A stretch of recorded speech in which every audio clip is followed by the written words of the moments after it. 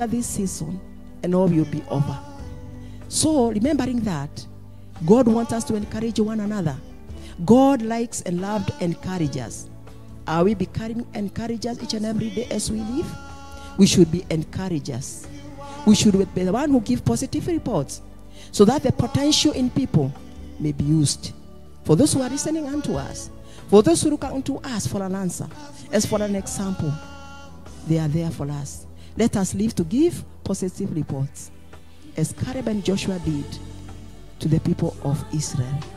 In the name of the God, the Father, the Son, of the Holy Spirit.